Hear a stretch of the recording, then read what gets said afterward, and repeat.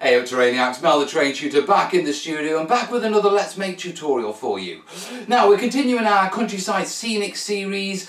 We did uh, dirt, roads, tracks and paths in the last video and in this video we're going to be looking at uh, tarmac roads and cobblestone roads. We're going to be looking at a couple of simple techniques and a really more in-depth technique for doing cobblestone roads. So, let's get cracked on, eh? Come on! Right, let's get started with the most simplest, okay, our tarmac roads. Now, obviously, as always, yeah, I'm starting off with my expanded PVC. Yeah, you can get scraps of this stuff from sign printers. Yeah, it's 3 mil. I've beveled the edges with a sharp blade.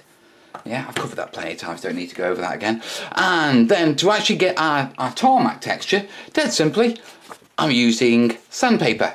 Okay, now this is like the hobby default, you know, it's, it's what we've been doing in the hobby for donkey's years, yeah, and it is literally just a matter of cutting it out, yeah, so it fits your base, and then you need to obviously glue it down. Now, with this being EPVC, I could use PVA and it would hold it down enough for me to get more paint and that sort of stuff on, you know, but PVA and EPVC isn't the best. And to speed the process up, yeah, I'm going to be using this stuff, my Fast Tack. Now, the benefit of this is I can lay it down, I can put it down, and we can be continuing with this tutorial very quickly. Yeah, so my next job is dead simple. Give this a shake, give it a spray on there, and then simply lay this down and smooth that out. And that will give us the base texture of our tarmac road. There you go, all done, stuck down. And like I say, I could have used PVA, but you know, I'd be waiting watch a little while for that to sort of set and that sort of stuff. So it's much quicker doing it this way. Reposition it a little. Right, next job is obviously because it is 3mm EPVC and I'm going to be gritting and that sort of stuff, I don't want it to warp. So much like with the, what you call it, dirt stone roads, I'm going to be using some milliput and I'm going to be putting two rolls just down there. So let me get this mixed up. So I've mixed up my milliput and then all I'm going to do is I'm going to drop it right on the edge because this will help hold this edge down okay? And this is the edge that we need to blend in because otherwise when we put our grit on we'll have like a little step in it. Yeah? And it is a simple matter of let me bring it up for you. Yeah? Put your your, your down put your your roll down and then just tap it down. Yeah? All you're trying to do is get it to cover the edge of the sandpaper and the edge of the PVC yeah, so get it a bit rough, and then once you've got it roughly where you want it, yeah, a little bit of water, yeah, and you can start to smooth it out a little, yeah? So, that's my next job.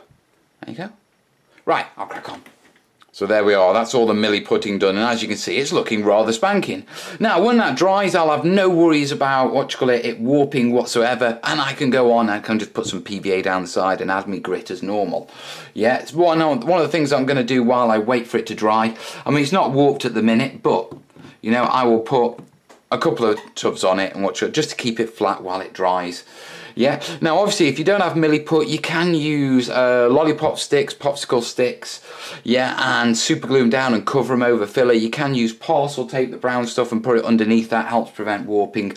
I just really prefer milliput. It gives me a really nice hard edge and a little bump, and you know, I like it. Right, next job is, while they dry, we'll let those dry and we'll come back when they're gritted. Right guys, our milliput's all dry and it is, it's sturdy as hell. It really is. Right, next job to do is to get a little bit of grit on this. I mean, I could paint and flock straight over it, but I want to get a little grit on it. So what I've got is, obviously, I've got brush, I've got some PVA over here. Yeah, uh, a little bit of water mixed in with it. It's got some brown bits off my palette, but don't worry about that. These things happen. And all I'm going to do is just give that edge a bit of a coat of PVA. You see all the brown bits on it? Shocking, isn't it? What sort of standard is this? Yeah, so get some PVA on it. And then very quickly, yeah, just with our mixed sort of grit, which is sharp sand, coarse sand, and some small stones, and I think there's some big ones in there from where I've thrown it in from having a mix. And all I'm going to do is, just with the, the sort of sand, yeah, is just give it a quick, yeah, just like that. So I'm just going to do the rest of it now. So that's it all gritted up guys. All we need to do now is just leave leave it for that PVA to dry and then we can start painting. Right, I'll leave it to dry. Right, next up we're looking at cobblestone roads and we're going to do them pretty much exactly the same as we did our sandpaper tarmac. Yeah, said we're going to not use sandpaper. What we're going to use is embossed wallpaper. Now, I've got a couple of strips here. I nipped up to B&Q before coming in. That's a sort of a hard uh, hardware chain in the UK. Yeah, and I went looking and I've got a couple. There's all sorts of embossed wallpaper, but I've got a couple. I've got though that one. That's quite nice. Yeah, and then I've got that one, which is quite nice. Yeah, and then I've got, I've, I spotted this one, and this is from their premium range. And uh, of all of them, yeah, this is my favourite. It is the most cobblestone looking. Okay, now this is £16 a roll. 16 bloody pound. yeah, but here's the good thing. Yeah, because they expect you to take samples home to stick on your wall and see if you like it. You can go up and they wherever they will sell wallpaper, they'll have an open roll next to it. And you can rip off a good two, three foot of it with no one batting an eyelid. Yeah, and a two, three foot sample of this 16 pound wallpaper is enough to do all the roads you want. So, essentially, it's free. And you've now got a reason to actually go wallpaper shopping with the other half if she's the sort or that he's the sort that drags you around to do that sort of stuff Kerry's gonna hate it. She's gonna absolutely hate me next time she does it. Yeah, now, obviously, exactly the same as our, what you call it, our tarmac. Yeah, I could glue it down with PVA. I'm going to use a spray adhesive because it's a bit quicker. Yeah, so we'll get that on and then I'll put the milliput on and the grit and all that sort of stuff. So let's crack on. They are all stuck down and you can see what I mean. Expensive wallpaper really does make good cobblestones, doesn't it? Right, the next job is just like the sandpaper, a bit of milliput, roll it out into a long strip and then push it down on the edges. Right, so that one's done now. If I bring it up, there you go. Looks lovely, doesn't it? Gotta love the premium wallpaper. Thank you, B&Q. Yeah, obviously now I've got to leave this to dry and then I'll be adding the grit. There are, milliput's all dry and I've just PVA'd and gritted it. Just exactly the same as we did our tarmac roads and Looks beautiful, doesn't it? Right, next job is leave this one to dry and watch call it. Uh, while this dries, we'll crack on with a different sort of technique for cobblestones. Hey, let's engrave them. Now while they are drying, I'll show you one final technique. Now the diorama guys, yeah, they will cut individual cobblestones and lay them out. But I want to show you a little bit of a trick based on that okay but sort of an engraving. Now uh, there's lots of ways of working with foam yeah for street effects yeah. I've got 10 mil foam here high density. I've got some rollers here. Uh, these are from Green Stuff World. We've already covered a video on these. I'll throw a link up. Yeah but you can roll these across and you can get lovely textures with them. Yeah but obviously if you don't want to buy the roller you can do it yourself Okay, now I've done lots of videos on engraving and you could get a biro pen and draw all your cobblestones out. But what I've got is I've got an old paintbrush that the end came out of. And when the end came out of, I decided I would squish the ferrule, that's this metal bit, yeah, down into a rough square shape. Okay, and I first saw this on Dread Lund's channel, Solvent Abuse UK. I'll throw a link up to that as well. Yeah, and he was using it in Das Modelling Putty to do bricks on his Arab buildings. Okay, I've seen it a few other places since then, but here's what I'm using it for. Okay, and dead simple, all I'm going to do is that. And if I bring it up, see? How simple is that? Now obviously, I've got to do all of this. it's not the quickest one on uh, in the book by far, but does look beautiful. So I'm going to crack on. I'm going to put all my imprints along here and basically give us a cobblestone effect all the way along here. Alright, so here you have it. Yeah, it took about five minutes to do, which is obviously longer than the watch wallpaper method, but a lot quicker than inscribing it. And if I bring it up, you can see it produces lovely deep cobblestones. Now, these are still a little bit flat, yeah, so I need a little bit more texture on them. So, ball of uh, tin foil rolled up, yeah, and just roll it over just like that. I'll just do one bit and you can see. And if I bring it up and compare it, yeah, you can see that they've now got all the wear compared to them being quite flat. So I'll very quickly do the same over here. There you are, all done. Now the next job is, obviously I need to toughen this up a bit. I never recommend using just blue foam for basing, okay? It needs toughening up at the edges. These thin edges, they're too thin. Yeah, they'll just get cracked as you put them down, that sort of stuff. So for that, Yeah, we're skipping the Milliput and we're going for the cheap option. Yeah, which is our filler. As usual, I am using B&Q Dial. Yeah, get a bit of a finger's worth. And all my concern is, yeah, just down this edge. I just want to rub it into this edge like this. Yeah, because that will toughen that up lovely. Yeah, ready for taking some grit on it. We might even not need to grit it. So there you are. Yeah, and like I say, just a little bit on your finger. Smooth it up and down. Now the diorama guys, what they do is they actually put filler in between all those cobblestones. Yeah, but you've got to remember they do them as individuals. Yeah, we're not going to do that. We don't need to do that. Yeah, because our paint and PVA and all that sort of stuff is going to fill those perfectly anyway. Right, I'll crack on with getting this on and then we'll come back when it's done. So there you have it, that's the edges all filled up, okay? And all we need to do now is just leave this to dry okay.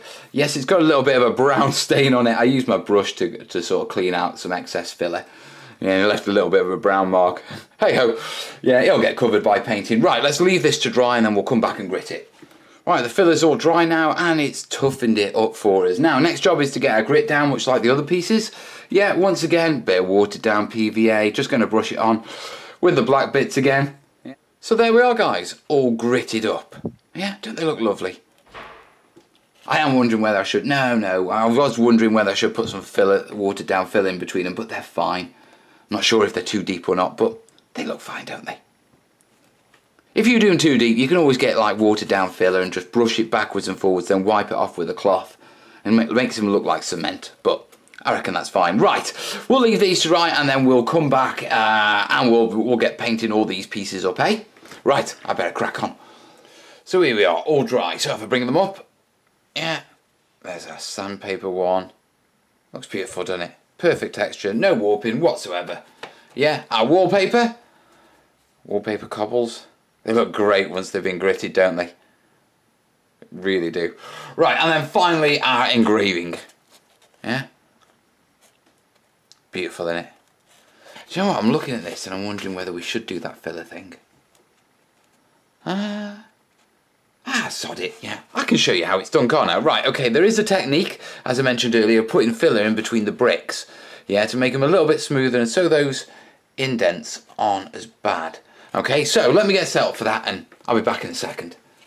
Right then, I uh, got my filler, okay, yeah, uh, stiff brush, stiff bristle brush.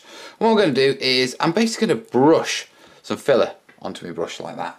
Yeah, but I'm not going to put it straight down. I'm going to put it on my messy, messy palette.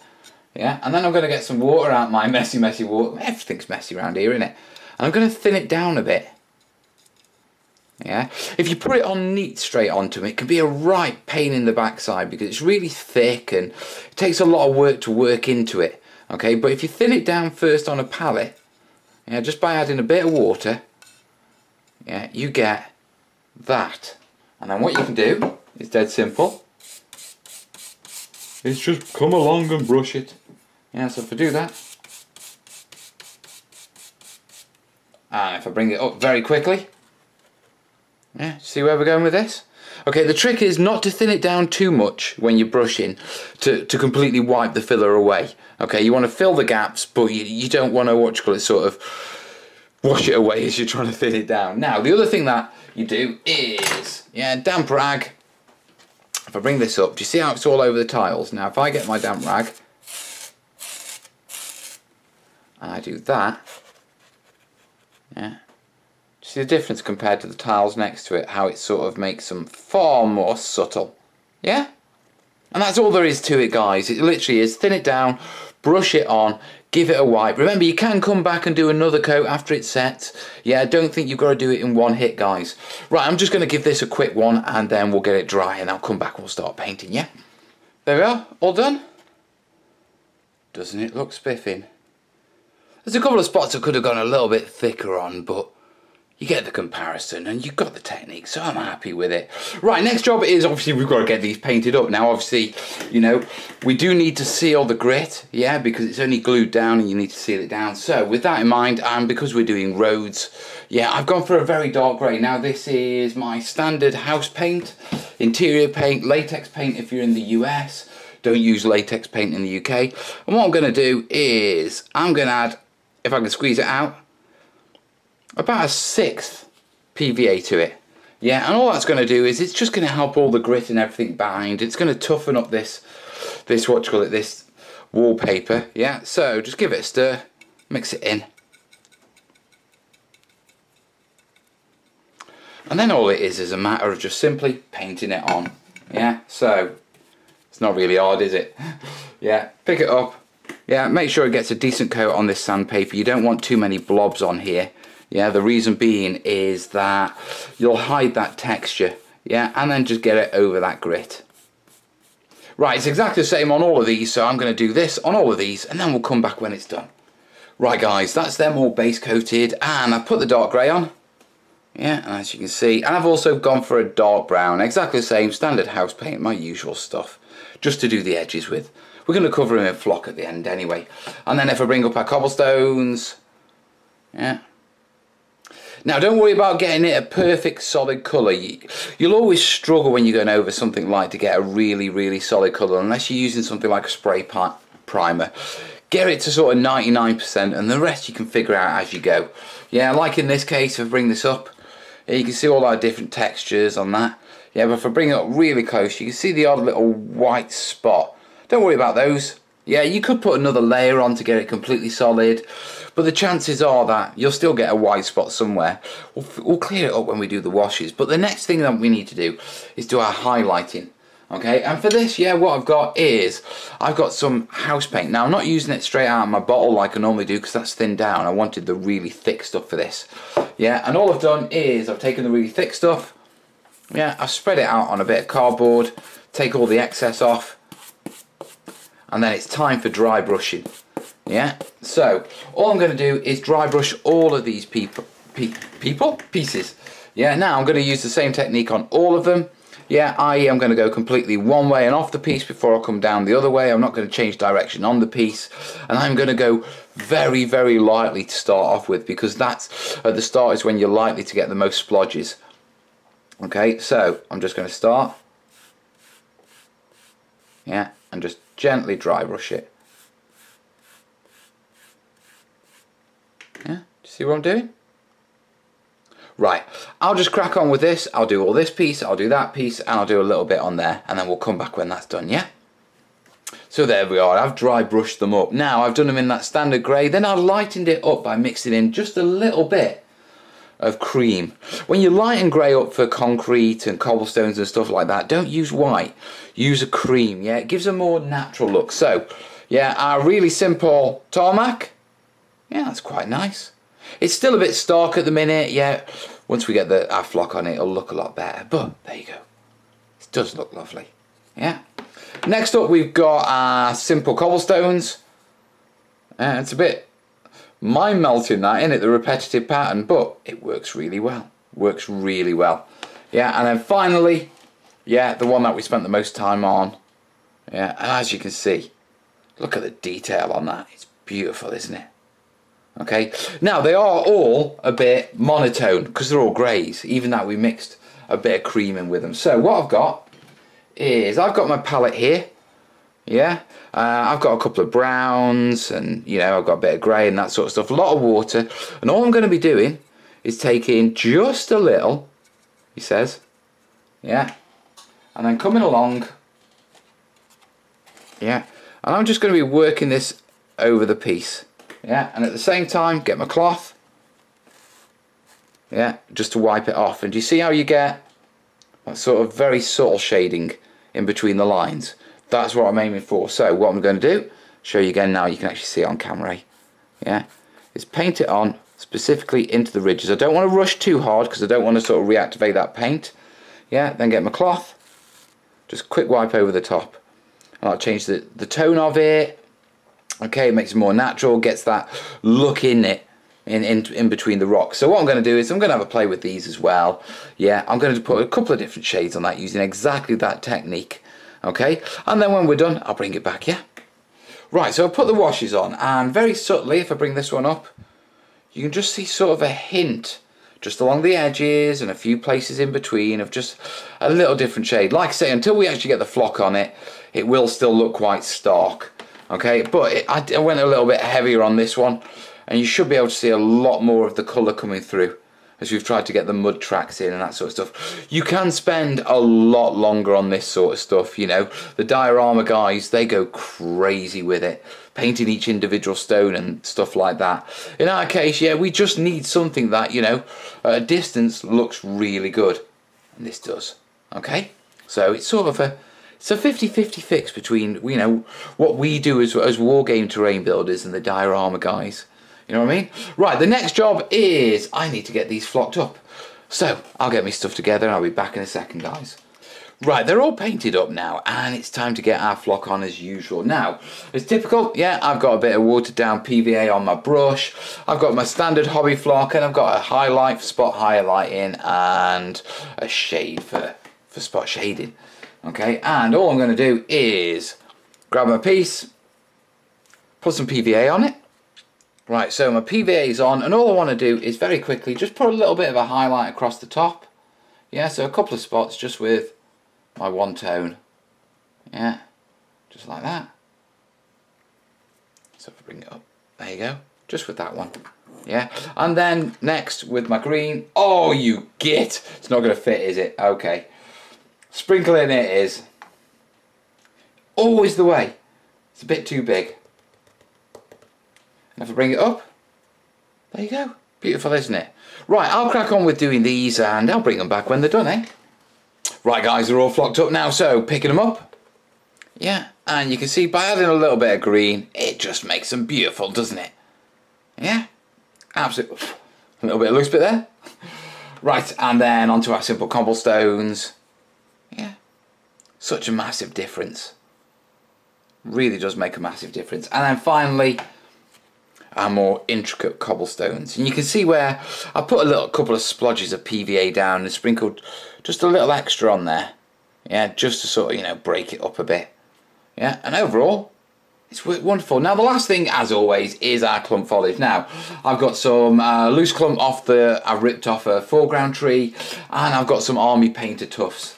Yeah, as always with these sort of things, yeah, grab the tufts, Stick in a little bit of PVA over here.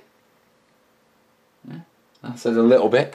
Yeah, and then all I'm going to do is I'm just going to come along and we'll whack this down here.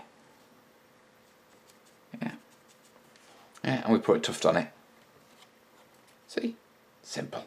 Yeah, and it's exactly the same with the clump foliage. You just have to get a decent clump. Yeah.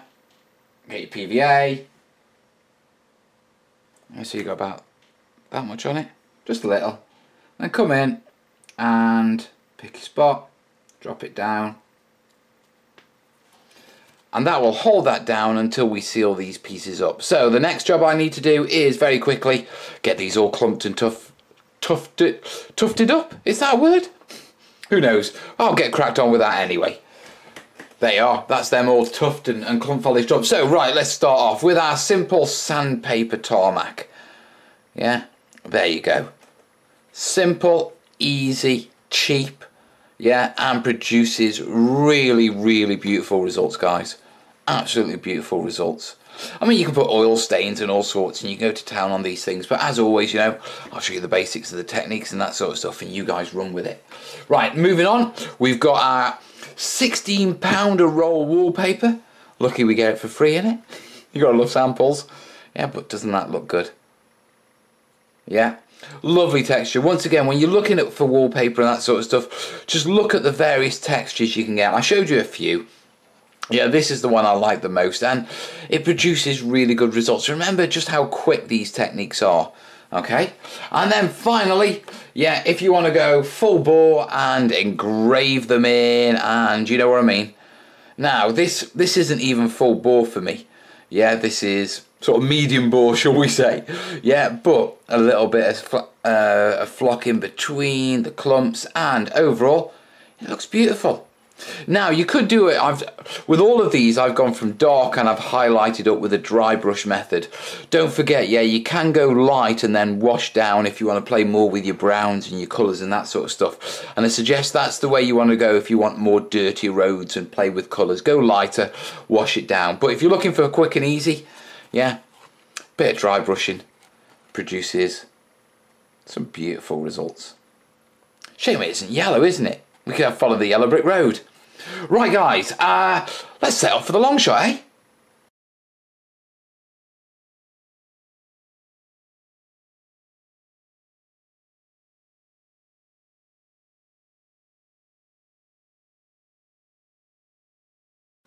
So guys, that's it for this tutorial. Now you've got a few techniques to be playing with. We've got the sandpaper, we've got the wallpaper, and then we've got that engraving technique.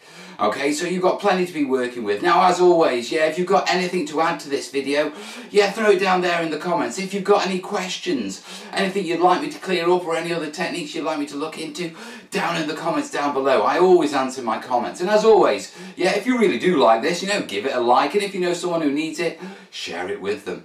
Now, as always, more importantly for me, yeah, I'm shouting out now for your support. Now, as you know, yeah, I'm sort of like trying to make this happen full time and doing the trade stuff full time. But that relies on one in a thousand of you, yeah, being good folks and saying that, yeah, I'll throw a dollar your way or I'll throw you a bit on PayPal.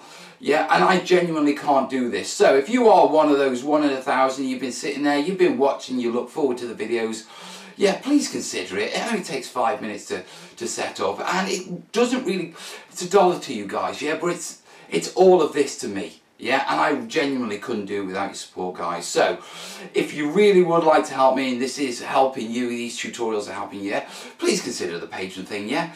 If not, there's PayPal down below and you can send a one-off if you're not into a monthly thing. If you're new to the channel, yeah, you can subscribe up there. And then if you're looking for more videos, well, they, they'll appear at the bottom of the screen. But in the meantime, you've got the techniques. I can't wait to see what you post to the Terrainiacs group, guys. Yeah, so get cracked on. I'll see you in the next vid. All the best, yeah? Sarah.